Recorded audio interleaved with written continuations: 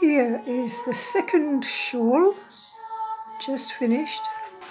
It's silk crepe, crepe de chine, so slightly different material. And if I go a bit closer, you can see some of the lovely organic patterns that are emerging.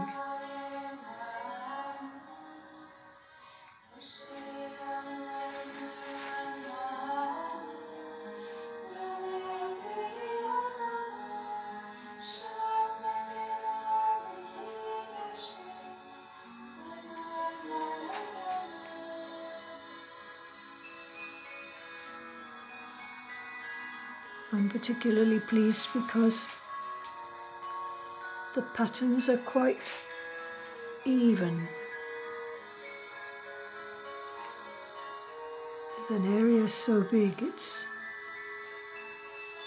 very easy for there to be one area that's got nice patterns and another area that's not so interesting.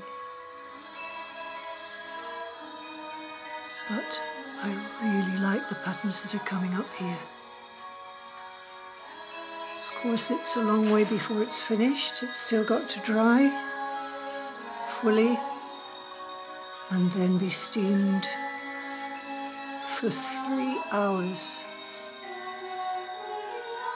You have to be so vigilant because if it dries out it will scorch and if any condensation touches the silk before the colours have fixed, before it's steamed for long enough to fix the colours, then the colours will bleach out, just wash away.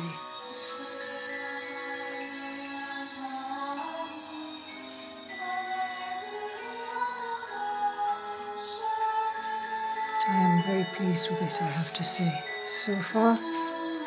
It's looking really nice.